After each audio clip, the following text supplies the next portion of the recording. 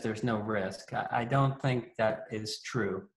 If you have somebody infected with the virus in the rehearsal room or on stage in a performance hall, you can bet other people are going to be infected unless everyone is following very careful protocols. Tom Duffy asks, uh, Mark, is there any evidence that musicians? Sorry. I'm sorry. Is there any evidence that musicians and ensembles have had higher incidence? Yeah, I see. I see Tom. Okay, go ahead, Mark. Yeah, it's interesting, uh, Tom. That's a great question, and uh, I've had a few. I've had a few discussions over the last number of days that, um, as we look back upon infections through our ensemble, and maybe maybe anecdotally we can all uh, uh think about this it seems as though when some of our ensemble members get sick, like one person will be out from rehearsal, and then at your next rehearsal, four people are out, it seems like anecdotally that a lot of those people are woodwind players. And that may be due to the fact that their instruments are producing more aerosols than others. So if you think back to some of the, uh, maybe in your careers, when you have had incidences of large numbers of students in your ensemble getting sick, it, it perhaps uh, is uh, woodwind players, the people up front in our ensembles. And um, okay, Greg is saying it's brass players. So, all right, well, anecdotally, I, have had that conversation. It's not, not really a way to prove it at this point in time, but we can watch for it in the future. Um, but the suspicion is that because woodwinds probably produce more aerosol, they're in proximity to other aerosol producers and more likely to get sick. No way to prove that at this point in time, and we're not going to use real subjects to test this out. So, thanks, Mark. Kimberly Roof asks, um, upon uh, with the spit and water keys, et cetera, can we assume sharing instruments will not be recommended? And um, we, the recommendation that we made in our document was to not share instruments. And if you absolutely had to, that um, they were thoroughly sanitized to the highest standards possible. Uh, we realize that that makes things difficult in many situations, um, but that's that's the safest thing is to not share instruments, at least for the time being. And one of the things we've been batting around at my university is what are we going to do with all the instruments that are currently in storage that have been played in the last few months? Will we just assume that they'll be okay in three months from now, or do we have to do a full disinfection of every instrument that was played? And if so, who's going to pay for that? So those are unanswered questions, but important ones nonetheless.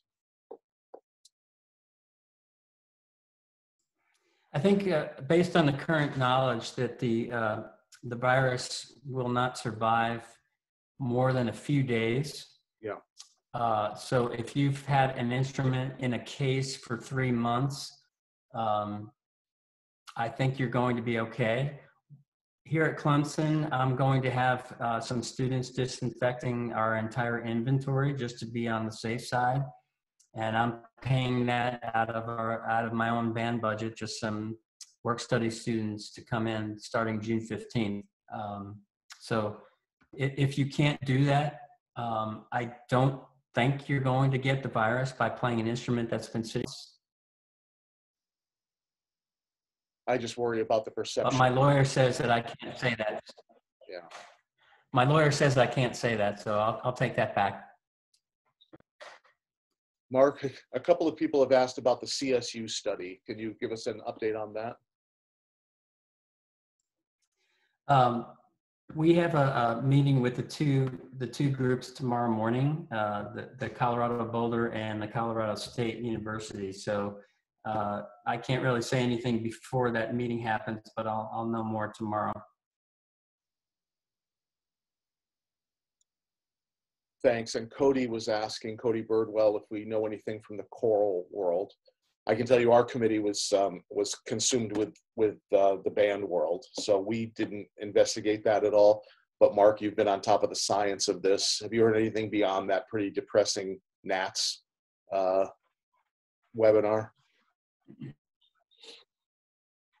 Well, yeah, the CDC came out with a report on the uh, uh, Skagit County Choir, the, the church choir in Washington State and uh, they came short of saying that the aerosol was a uh, um, spreader of the virus, although they said it was, uh, you know, it could have played a role, which is basically hedging their bets. So I find it unlikely that pinch points um, would cause an 80% infection rate.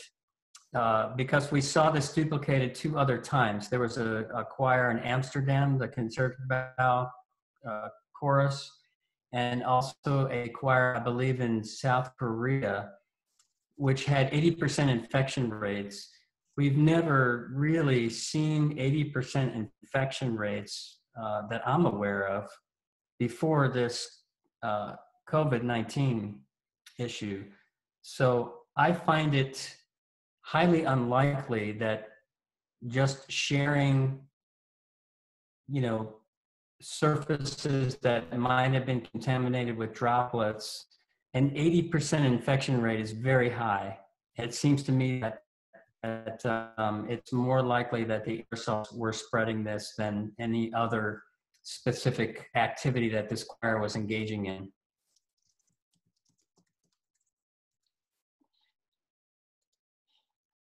Thank you, Mark. All right, still trying to keep up with the questions here. There are lots coming in, and that's great.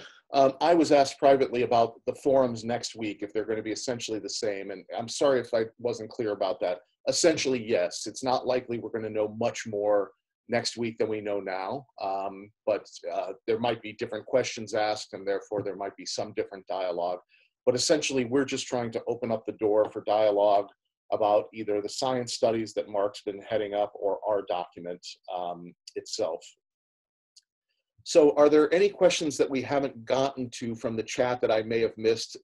It looks to me like we're caught up, but if we're not caught up and you put a question there that I didn't see, would you uncue your microphone and then just go ahead and let's let's hear your question?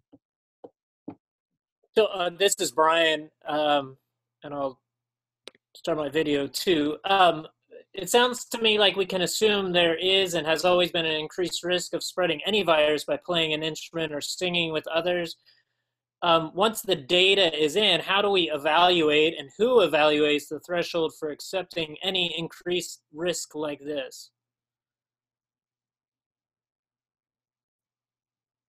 Well, I, I should, I've been telling people too that, that um, these decisions to go back into the classroom, the rehearsal room, are not going to be ours to make ultimately. And I hope you all realize that. It will be federal, state, and local authorities who make that determination.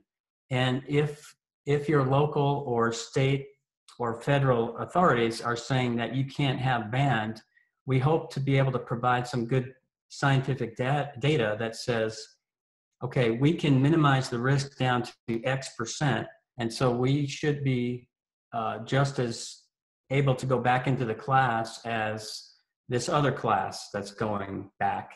So if, you know, what, what we're trying to do is advocate for our profession here, but ultimately these are not our decisions. They'll be made by uh, other, other people, but we, we're doing this in order to inform the science so that you can take something to your administration uh, you know, but but more than likely, you know, I think in the state of South Carolina where I live, I think the governor is going to be the one deciding, and then possibly the president of my university, who who I'm in contact with.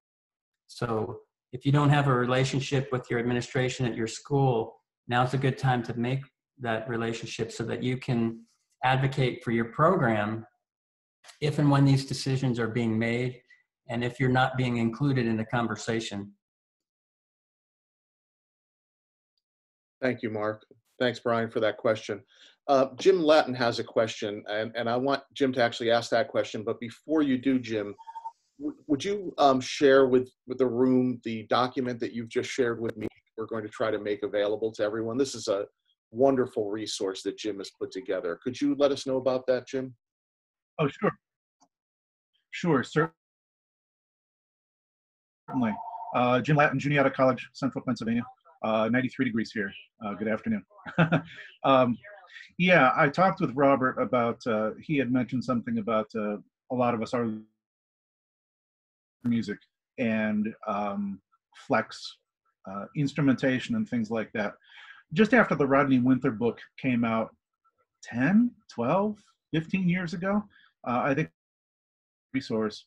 Um, I, I read through the book and I realized, boy, this would be really great if there were an Excel spreadsheet that uh, had columns and rows, and and for each piece, does it need? How many basset horns does it need? Uh, in a sortable fashion. Uh, so I did that, and uh, so there's an Excel sheet not only of everything in the Winther book, but I've added some other things to it as well. Robert and I are, are talking about some ways that that could become uh, viewable by everybody. So that's in process. Thank you for that wonderful resource, Jim. And then um, Jim was asking uh, you, Mark, will either Colorado study look at how much aerosol and or condensation will stay on music stands? Should we have every student bring their own stand and put away the column stands? I, I, I can speak to the last part of that. Our committee recommended that every student bring his or her own stand to every rehearsal and they share, share nothing. The, the less that they share in common, the better. And I'll let Mark speak to the science part of that. Yeah, I think I think in terms of uh, viruses and bacteria, uh, you know, the, the disinfection methods are pretty well known at this point. So if you, you know, if it's just going to be up to you probably in your own situation to make those decisions. If you have a disinfectant spray that you want to spray the uh, the music stands down with, what we're going to be looking at in terms of aerosol remediation are barriers in front of high aerosol producers. So that may, one of the things we'll probably look at is some kind of material on a music stand that's right in front of the player. So again, no matter what happens, just assume that by the end of rehearsal, anything and everything is contaminated. The music stand, the cloth hanging over the music stand, the, the the thing where the droplets are going, you know, if you have a container for each brass instrument, just assume it's all contaminated and it all has to be disinfected. So uh, if you're going to use the school music stands, you just have to assume that after a rehearsal, they're all infected and have to be disinfected. So the, the idea of having the players bring their own is it puts the responsibility for their stand with them instead of with you. I, I, that'll give me an opportunity to talk about one of our recommendations that has raised a few eyebrows, and that was that um, to the extent possible, that musicians stand in rehearsal rather than sit. And um, I, a few people have asked questions about that. One of our colleagues said it was the silliest recommendation he'd ever seen. But the reason uh, that recommendation was made was exactly what Mark just said that anything that gets touched or anything in the room, it's going to have to be disinfected if it's stacked in a separate room, if those chairs are stacked somewhere else, then that's something that doesn't have to be disinfected. And uh, at least one member of our committee, uh, that's going to be their policy uh, in the fall if everything stays as is. And I've heard at least one other university saying they're going to head in the same direction. So that's just a chance to explain why we were uh, why we were doing that with that recommendation.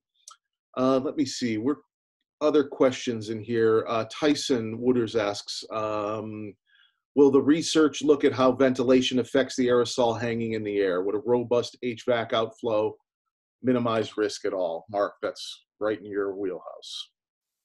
Yeah, and I, I did tell uh, Tyson in the chat that that we would be doing that. That's really more of phase two, and that really will depend on your own rehearsal space and what the HVAC system, the you know the the the quantity of air that it is moving per hour um, it's it's going to be based on what your room can do. So this would be a good idea you know a good time to get with your facilities folks and get that da- data now so that when we do uh, you know get done with this first part of the study or, or the second part that you can apply it to your own space.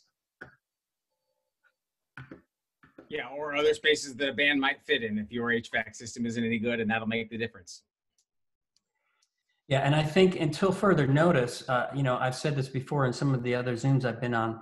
Um, my plan is to rehearse outdoors until until we have some really good science behind everything, and that includes my symphonic group. Um, you know, luckily I have a courtyard right outside our band room, and weather permitting, permitting, we're just going to go outside and rehearse out there uh, because we do know that that being outside um, is a much less likely situation to spread the virus.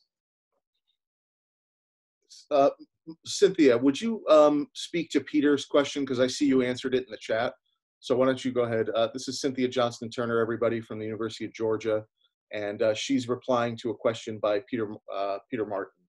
Yeah, Peter is is um, giving us some information about uh, basically copyright. Just be careful if if we're going to go to virtual uh, situations that we are cognizant and aware of all licensing and copyright. We we did address that uh, in a couple of places in the document, but I think that that's um, a good idea and important to reiterate here. So thank you to Peter.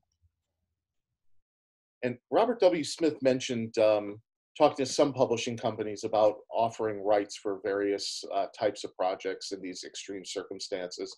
And I don't actually recall the details of that, but it may have spoken, he may have been speaking about uh, virtual performances as part of that. Um, there isn't a lot of public domain music for us, but um, as we mentioned in the study, the Holst suites are in public domain. Uh, English folk song suite is. Uh, most Sousa marches, lots of great chamber repertoire. So there are things in the public domain that we can do. More questions. If we haven't gotten to your question in the chat, feel free to go ahead and put your microphone on, identify uh, who you are, and go ahead and ask. There's a question from John about um, logistics, locker, storage space, ingress, egress. No, we're not going to look at that in the science study that we're working on, but I think it would be good for you each as individuals to think about how you can um, deal with large numbers of people coming in and out of your space. So I've already begun to think about our space, and I'm going to have entry and exit points uh, where which are one way. All right, so we're trying to avoid people coming, you know, a lot of large number of people coming at each other. So everything's going to be one way. We're going to try and keep everybody six feet apart and um, keep the flow moving so that there's minimal contact between the students while they're inside the building. Uh, so, so the answer to your question, John, is no. We're not going to look at that in the study, but I think I'm already thinking about my own space and and coming up with a plan, and I would encourage all of you to do the same.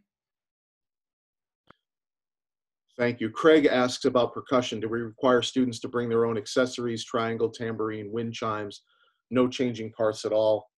I think to the extent possible, yes, they, they should stay on an instrument. And uh, pedagogically, uh, there are a few of us that would say that that's an ideal situation, but um, I, we're, we're, we're facing something we've never faced before. And unless things change dramatically between now and the fall, we're going to have to think very carefully about what we want percussionists to do. Um, it, it speaks to the whole sharing of instruments idea. Um, there's a lot of programs where people have to share instruments, and, and we don't have a good answer to that, unfortunately. Uh, the best answer is don't, and if you have to, just disinfect them to the highest standards possible. Uh, there's a link in our document to many articles about disinfectant uh, that would hopefully be very helpful to you privately, someone asked me about uh, marching band uniforms, and um, we were asked only to look at the concert side of things. Barry Houser, with his athletic bands committee, handled uh, the athletic band side of the house, and uh, I know they're still working on their document. Mark, do you have an idea of when their document is going to be released? Will it come out soon?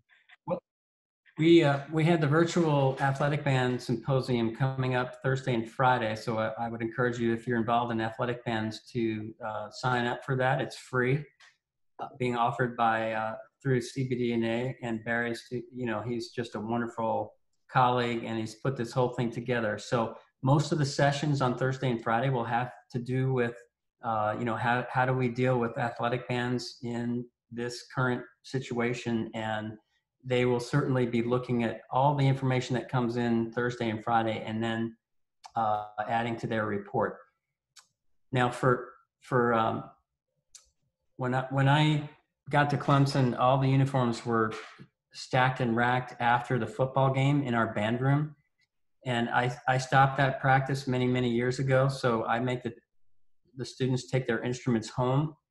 And so I, I, their uniforms, I'm sorry, uniforms home and um, I'm just thinking through my mind. Let's say a person is sweating in their uniform, uh, and we can assume the uniform is now infected. They're taking it home with them, uh, which is a better place for it probably than in a shared space with a lot of people.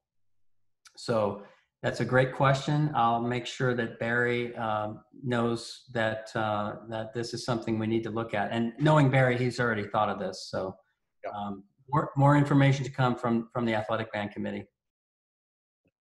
Uh, Frank Tracz from uh, K-State asks us, will medical style gloves help the percussion situation?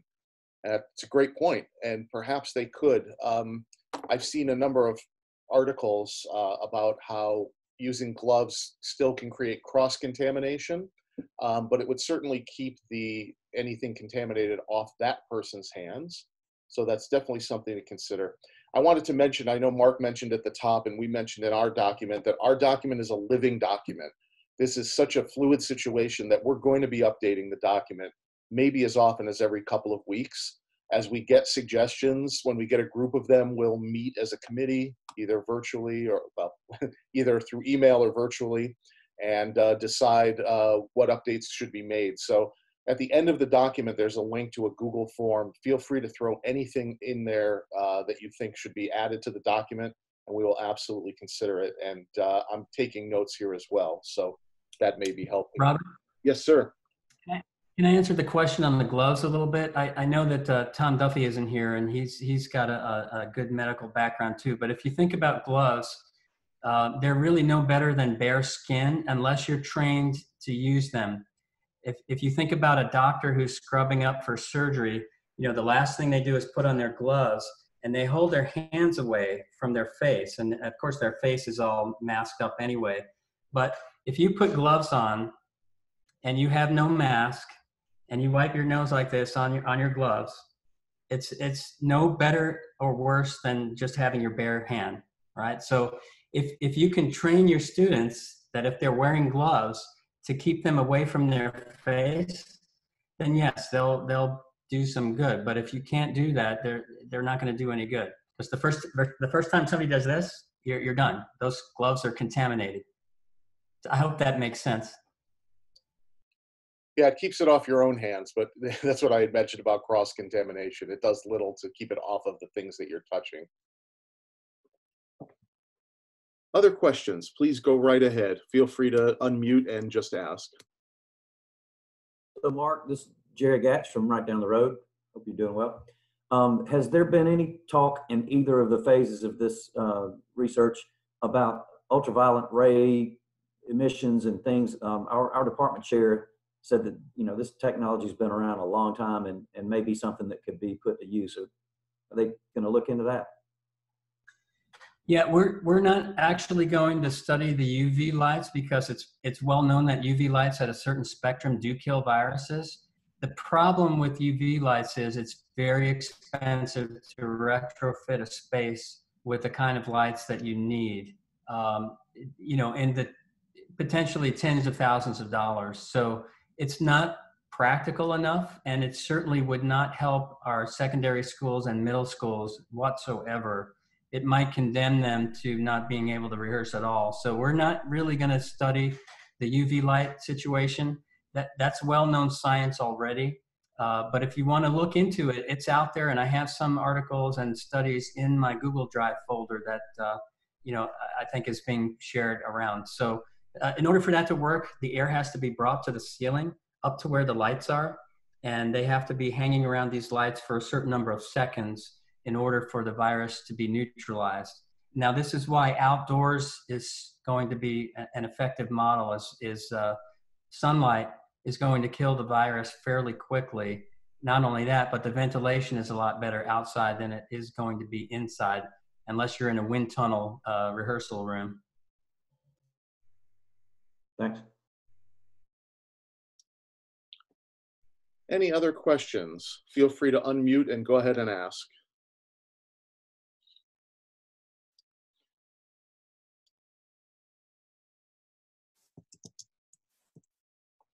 Want to be sure to reiterate that um, we're, we're making um, suggestions with our document. And, um, you know, we don't know what's going to happen in the fall. We're, we're, we're making a best guess based on information from dozens and dozens of people to whom we've spoken. Uh, but we're, we, we are not dictating anything, nor can we. And as Mark pointed out, that's going to be dictated by state and local and, and university officials. Um, certainly not by us. I just wanted to make sure to mention that again. Uh, William um, is asking, can ozone generators help, Mark? Um, to be honest, I haven't uh, I haven't seen a lot of research on ozone. Uh, I've seen a little bit, um, but I'm imagining that in a in an indoor space, it might not be the safest way of neutralizing the vi- the virus. Um, believe it or not, Lysol spray may be more effective than than some things. Um, but but all of that is is science that exists elsewhere. Um, and again, it's we're, we're going to try and look at solutions that don't cost a lot of money. And I'm not sure how much a, an, an ozone generator would cost or what the other issues. Um, if you have any scientific studies on that, please feel free to send them my way. Bruce Moss has a question. Bruce?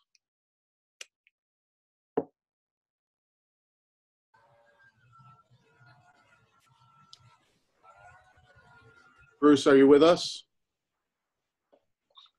Uh, your microphone is muted. I'll go ahead and unmute you there. Are you there, Bruce? Uh, yes. Can you, uh, actually, I don't have a question. Somehow it must have popped in. Sorry. That's all right. All good. Nice to say hi. And greetings to everyone. Greetings to you. Robin Bell, you have a question. Let's hear Robin's question. Hi, Robin. Hey, Robert, good to see all of you, and the many, many pages of all of you. So uh, I'm in Florida in a very unique situation where uh, very highly cultural arts centric area. We have about 850 people that come to our concerts. Um, maybe different from some of you in the college arena, but you know, there's the discussion is about the rehearsing and about the, the music for our groups. But the question I'm getting from my administration is more like from the audience perspective and what do we do about getting people into the performance hall for these if that's even possible the, taking the temperature of every audience member distancing them only allowing perhaps 200 you know versus 800 so has did the team talk about the the audience patron uh, aspect of any of this i didn't see it in the document Yeah, we only, sp- thank you, Robin. We only spoke about it anecdotally because, uh, truth be told, it's not anything that's in our control at all. We, I, most of us are not going to have any say over what the social distancing guidelines are going to be for particular spaces. Um, I'll let my other colleagues on the committee speak to that if they wish, but I'll, I'll mention one thing that uh, our percussion faculty member and I are in the process of investigating pieces that were specifically written for outdoor performance and we've already identified a couple, one of which by uh, G- Gabrielle Olivero was actually written to be performed on a college campus outdoors. Um, so we're looking at uh, unique and different situations like that. Um, I, I, beyond that, I can only speak personally. I'm expecting no traditional performances of any kind for the fall. Uh, I just don't think we'll be in that situation maybe a performance to a, an empty hall that's live streamed. Um, I have no knowledge that anybody else doesn't, other than what I gained from being on this committee. But that's just at at our university. That's where our head is. That we're going to create experiences based on process more than product, um, and try to investigate doing things that we haven't been able to do in the past when we were product oriented, for for better or worse to say that. Cindy or Jason or Alex or Gerard, would anyone like to speak more to that at all? And I, I would say maybe an additional appendix to that living document would be um, this list of outdoor oriented pieces that you're speaking about. Um, unfortunately, my entire funding comes from ticket sales. So I'm in a bit of a quandary on how to monetize live stream Yeah, things, but we're working on it. We have some Patreon and Vimeo and some other things that we're gonna, we're gonna work on. So thank you. Robin, did you see the well-written article about the Boston Symphony Orchestra and what they would need to do in order to break even? They basically fill a quarter of the, their hall and have to charge four times for every ticket. I mean, it- It's, Yes, I, I saw it and, and wept, yes. yeah, I think that, that was one of the better articles and um, I, it, it doesn't paint a, a great picture. Um, I, I'm seeing just anecdotally, just reading things, but many concert halls are just saying, there's nothing for 2020. We're just not even gonna try. And I can tell you this, we had tickets, my wife and I had tickets to Hamilton for May. They moved it to September. And then we just got an email saying it's now September of 2021. They just, they just gave up and said next year. So I think that's, um, that may portend something, uh, possibly. I, I can just sing all the songs for you here if you like and save you a line. Thank you. We'll pay you the, what we paid for them. Uh, we're at this point, we're just gonna actually probably get a refund. It's so far out, it's hard to even know what's gonna be happening then, so. Um, some things were flying by in the chat and I haven't caught all of them. If there are any questions, go right ahead. We've got about 10 minutes left. And I want to reiterate the, uh, the other sessions that'll happen next week will be run basically the same. Uh, we'll answer questions. Mark will give any updates he has on the science. But if different questions come up, there may be different answers uh, for that reason. But uh, but you shouldn't feel like you're going to miss something if you don't come to all three sessions. We just wanted to offer a variety of times to people. I have a question. This is Lauren Reynolds, University of Delaware. Hi, Um, and I have a question. Hi. Um, following up, um, Mark, you were talking about the study being about one minute and then sort of extrapolating out and, and that there would be an algorithm for figuring out then the, the risk level or whatever beyond there. Is that already, does that already exist to know how to calculate that out? Because time is, you know, one of the major factors in this. So I'm just curious if that exists or if that's going to be like a second phase of it, figuring out how to move on from the one minute. Yeah, thanks, Lauren. Uh, we're we're going to test all the instruments. we're going to have an excerpt uh, played that's about one minute long that covers uh, wide range on the instrument and also a wide range of volume. So it sort of mimics perhaps what about one minute of playing will produce. And from that point, it's just I think again I, I we'll have to get the scientists on this, but I think it's just a matter of um, you know, if we know a trumpet produces this much in one minute, times that by however many trumpets you have, times however long your rehearsal is, minus what the HVAC system is moving, you know, how much air it's moving. I, I mean, I'm, I'm, we'll, we'll have something uh, more useful than what I just said, but that's, that's the basic premise. Thank you. Uh, David from Bemidji State has asked, uh, has anyone identified strategies for holding honor bands or festivals in an online fashion? These events are crucial to recruiting and fundraising. Uh, we did not discuss that in our committee, although I have seen one called the Bandwidth Festival. Cynthia, aren't you involved in that? And, and I mention that only because if, if he, if he, the person who's running it, is doing it, perhaps it's possible to mimic that model in other places. Am I right to say that you're involved in that, Cindy? Yeah, when this all went down back in March, I was contacted to see if I wanted to be um, a lot of the bands across the country who had who had already um paid money and were going to do their spring uh, evaluations and other concert festivals. Was there something that we could do to help these bands still perform? Uh, and things were. It's Greg um, Charest. I'm not sure how to. C H A R E S T is the person who contacted me and um, they've i think that he's run into uh, some logistical issues some licensing issues uh, just issues so i'm not sure where that's at right now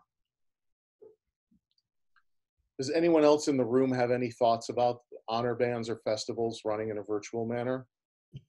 There are 176 of us. Maybe someone else has an idea.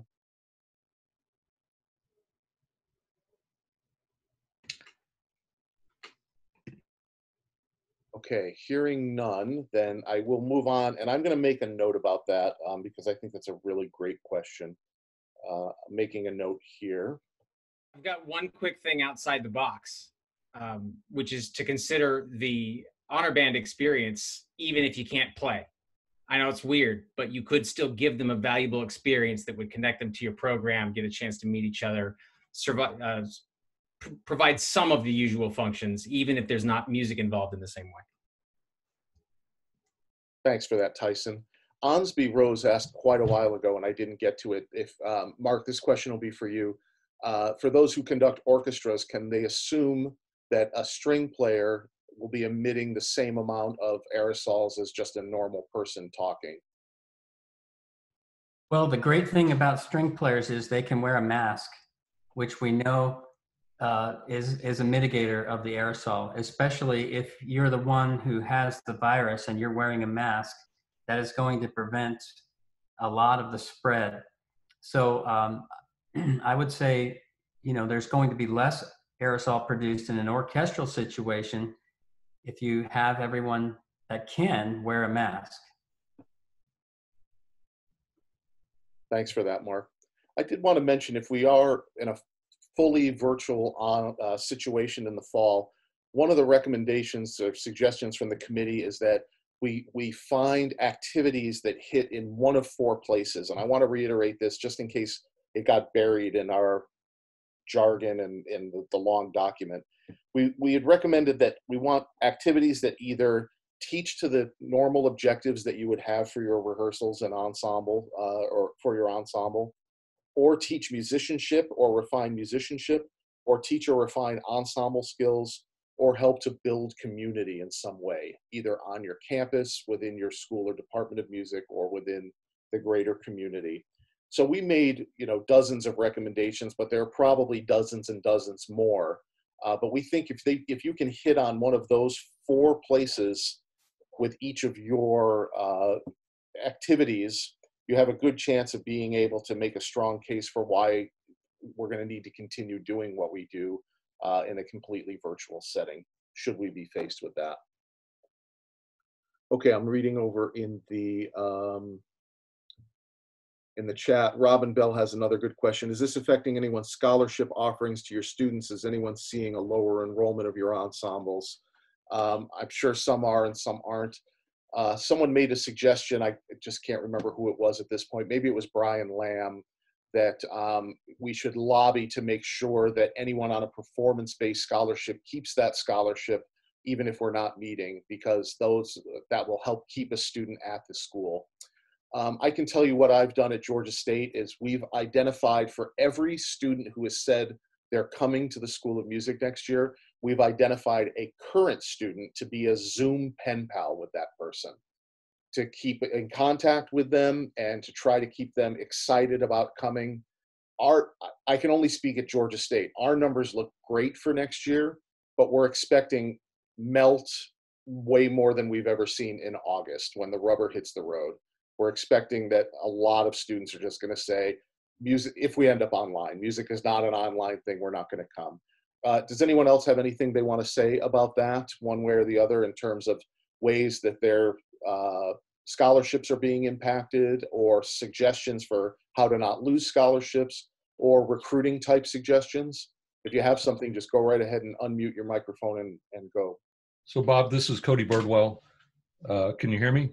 Yep, sure can, Cody. How you doing? Yeah, so all our scholarships are good. Uh, you know, they're being retained for the students and they are not at risk.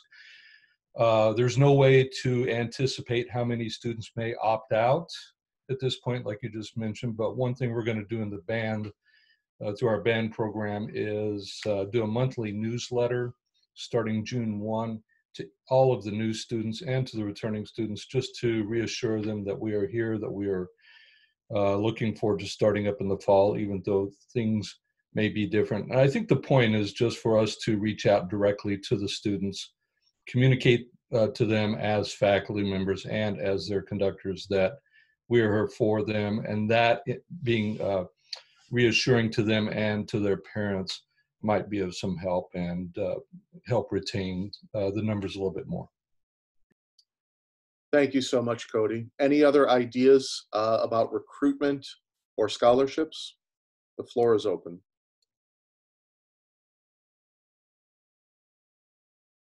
Yeah, I'll add something here. Hi, everyone. Gerard Morris, University of Puget Sound. Um, thanks for joining us today. You know, one of the things that I found here, and we actually, um, our yield is still coming in. Our deadline here, uh, like I know some other institutions, was extended to uh, June 1st for admitted students. And we've actually had a really good yield this spring. And I think part of it is that I helped the faculty and we we sat down and we're like, yes, we're feeling anxiety. Um, there's stress about the future. There's a lot of unknowns. And if we project all of that onto these families, then they're going to be less likely to want to move forward. They're going to feel stuck. So my marketing and, and my my approach, my leadership is that you can be part of the solution or you can press pause on life. And so come to Puget Sound and be part of the solution. And just that kind of like hopeful messaging has made a huge difference in giving people like, oh yeah, it's life. This is temporary. We just don't know how long it's going to be. And everything we're doing is to ensure that we can continue to learn and grow together and be part of a community. And these students are grabbing onto that and being, yeah, I want to be part of that solution. I want to come to school. So it's been very helpful. Thank you, Gerard. Anyone else who has anything to say on that, if you wouldn't mind just dumping it into the chat. And everybody, you, you should have the ability to save the chat um, with the three dots uh, down at the bottom right-hand corner of your window. You should be able to save the chat there. Uh, Tom Duffy brings up a good question, and I just want to tell Tom and everybody else that I'm going to try to get an answer about this. Can we broker our numbers and buying power and get others involved to request that copyright holders, publishers make concessions as exceptions rather than as precedent for online distribution of music and performances? I'm sort of suggesting that we unionize. um, I, again, I know Robert W. Smith has has spoken to some publishers, big publishing houses about that, and I will find out. I will get an answer to that, and I will post it in the um, COVID-19 Facebook page. And if anybody who is not our CBDNA COVID-19 Facebook page, if anybody's not a Facebook person, just go ahead and shoot me an email, and I'll make sure that you get that information as well. We're about a minute over time here, but it's there still are some questions in here, and I want to just see if I can get to the last couple. Um, does anyone know? Tim Marr asks an application that, given the dimensions of a space, could plot the maximum number of spots to place musicians while keeping a set distance between each member. Uh, I know that Mallory Thompson at Northwestern University got the exact dimensions of her rehearsal room and accounted for 60, 36 square feet per person. That would keep everyone at a six foot distance in every direction. So I don't know if there's an application to do it, but if we take what we keep hearing as a, as a recommendation of six feet, 36 square feet would do it. And I think you could probably figure out the math. Is there anyone among us who knows a more sophisticated or easier way to compute that?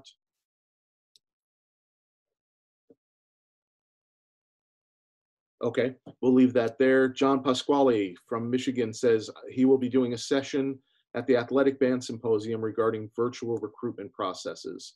So um, we can catch that on Thursday and Friday. The uh, virtual Athletic Band Symposium will be all day Thursday and Friday. Mark or someone from Athletic Band Committee, where's the best place to access a schedule for that? Is it on the CBDNA website?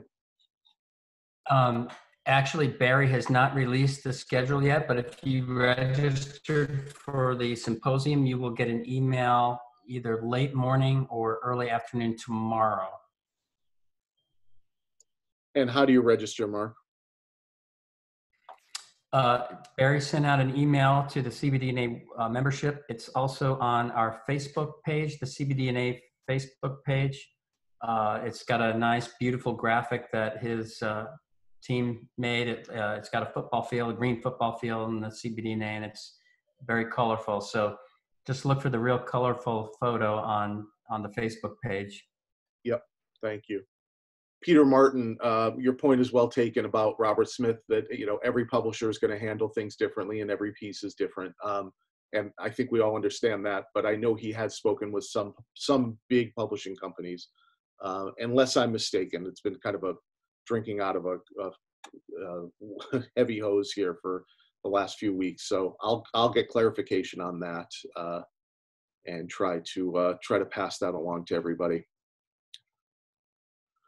Okay, everyone. Well, we're about five minutes Chandler, over. Yeah, Mark, go right ahead.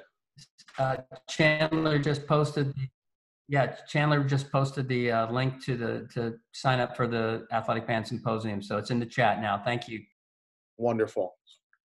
Um, I know some of us have meetings coming up uh, immediately, so I want to make sure that we don't go uh, any further over than we are now. So uh, unless there's any final business from Mark or any of my colleagues from the committee, anything to say? Gerard? Yeah, anything you wanna say? Yeah, real quick, I just want to let everyone know, I've been getting a lot of email messages from um, uh, our, our membership about, I'm not getting these emails or those. And I just want to remind everyone, if you log into the CBDNA website, um, on the left side of the screen, it'll say like manage your, um, uh, manage your, uh, um, your stuff there. And then you just click on list serve and then there's a bunch of boxes that you can check and if you don't check those boxes, you're not going to get this information. And might, this might be a good time to check more boxes than fewer if you're interested in knowing what's going on in the athletic realm, if you're interested in knowing what's going on with the small uh, college band programs and whatnot. So just be, please be aware of that. Thank you, Gerard. Anything else? Cindy, Jason, Alex? Mark Spede? I just want to, Yes, please. I just want to toss in our great appreciation to you, Robert, and you, Mark, for the amazing leadership in all of this. The, the committee, the people who've served on your committees are in awe. So thank you. It's our pleasure. It takes a village, everybody, and um, you all made it made it easy. So thank you, thank you, Alex, for the kind words and also for your, your wonderful work. Uh, I want to remind everyone that our document is a living document, and we really do mean that. If you have any suggestions, especially anything that may have popped into your head as a result of this meeting, go ahead and look at the, the, the document at the end. You'll see a Google form, and go ahead and fill that out. And we will meet regularly to discuss those uh, items that are placed there. Uh, if you want to save the chat, which is chock full of some great information, just in case you don't know how, click on the three dots and hit save chat, and then you'll have a text version of that for yourself. Uh, Brian Doyle reminded me about 10 minutes into this meeting that I wasn't recording it, and then I started recording it. Sorry for not remembering, but uh, we'll find a place to post this probably on the Facebook CBDNA COVID 19 page uh, or perhaps somewhere else. I'll speak to Mark uh, Spede about that. So we should have that posted soon. Um, our next two forums uh, will happen next week. Uh, and please feel free to stop in again if you want. Uh, those dates are June 2nd, 4 to 5 Eastern, and Wednesday, June 3rd, 2 to 3 Eastern. So my great thanks to my committee members, our committee members, to Mark Spede for his great leadership, and to everybody else for tuning in today and being part of the solution here. We'll get through this together, and as we said in the document, there's no manual for what we're going through. We'll, we'll figure it out. So thanks to everyone, and all the best wishes. Stay safe, stay healthy. Take care, everybody. Thank you so much.